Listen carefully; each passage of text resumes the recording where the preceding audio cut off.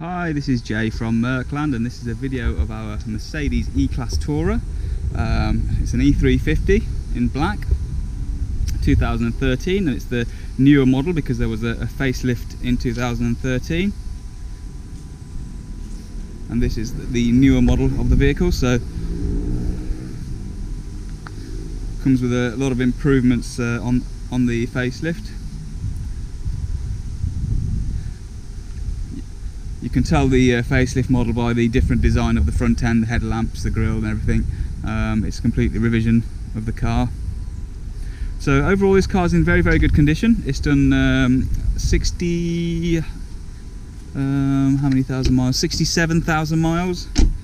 Um, and the bodywork and everything is very very good for that mileage. Um, the condition of the car is very very good. Of course at that sort of mileage you can expect the odd stone chip here and there which of course you'll expect to find with any used car but uh, overall I can't see any major dinks, dents or scratches on this car. A few little stone chips on the bonnet uh, uh sorry on the bumper and maybe a couple on the bonnet uh, which as I say you would expect. There's nothing uh, that stands out too much. Wheels are all in good condition.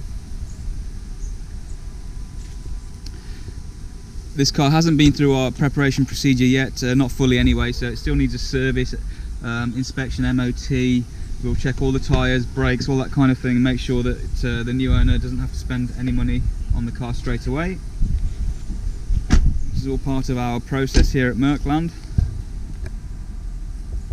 It's got the uh, privacy gate glazing from the factory so tinted windows to you and me. You know when someone's looked after a car when it's got a boot liner in? Uh, it's a genuine Mercedes boot liner came with the car and of course underneath the carpets uh, immaculate. Uh, these days you don't get a spare wheel or a jack or anything because it's um, you've got the AdBlue tank where the spare wheel used to go. So you just get a pump up kit and, a, and a, some goo for putting in tyres which is in there. Uh, I would never dream of using that goo but uh, there you go that's another subject.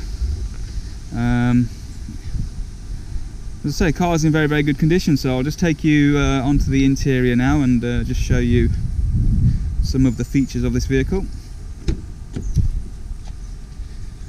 Okay, simple over here, we just got the window switches, folding mirrors, mirror adjustment. This car has a sat nav uh, a standard. Let's start the car.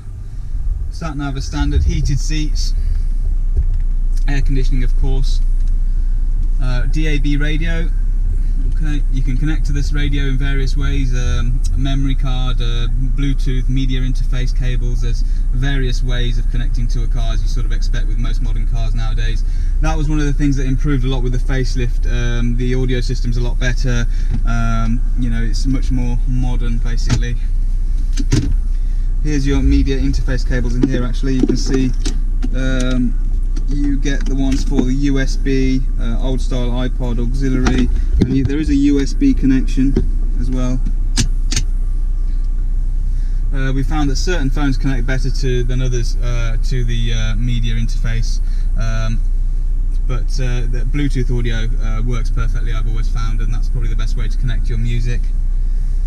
Okay, um, what else do we have on here? So um, we've got the online sat nav. So if you connect your phone to it, the data will allow you to get online. Okay. Um, apart from that, I think that's probably about it. Down here, you've got your electric tailgate switch, which uh, allows you to open the boot from inside. So if you're dropping the kids off to school, they can get their things, run off into school, and you can just close the, the tailgate remotely without having to leave your driving position. Over here we've got the cruise control stalk which is also a speed limiter so you can set your cruise control um, as, as, as, you'd expect but also got a speed limiter function where it doesn't let you go above a certain speed. Of course very useful in speed limiting areas, uh, speed speed trap areas. Um, here this is a multifunction stalk which is classic Mercedes, you've got your wipers, um, main beam on there and, uh, and rear wipers for an estate. And this is your gear selection. So down is drive up into neutral or up into reverse. And park is just a push of this button. Okay. So that's basically the features on the inside. I'll just show you the engine for just in case anyone is interested in seeing a pla plastic engine cover uh, which is about all you see nowadays in an engine bay okay so there we go. It has an engine, it's a V6, very smooth, very powerful uh, power plant these, well uh, reliable. That, that uh, version of the engine has been out since what, 2004 or 5? Uh, the V6 diesel 2005 and um, it's uh, gone very gone under undergone various updates over the years and th these sort of latest engines are very very reliable. And they're still used today actually that that engine um, because it's a fantastic engine. Um, you know very powerful very smooth uh, economical uh, for a 3 litre diesel. And um, yeah nothing much else to say about that. Just as you'd expect with Mercedes reliable trouble free so if you have any questions you can always contact us um, 02476 386 327 email sales at mercland.com message us through the website. Um, send us a letter. Send us a message. However you want to get in contact we'll be here for you. Thank you very much